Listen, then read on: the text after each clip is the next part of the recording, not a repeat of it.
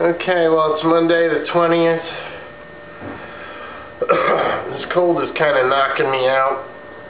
But um, anyway, I'm, I'm just going to be working in around the house, cleaning and packing stuff. I was going to go up to the storage unit and uh, work on some stuff, but I think I'm going to do it tomorrow because I really feel crummy.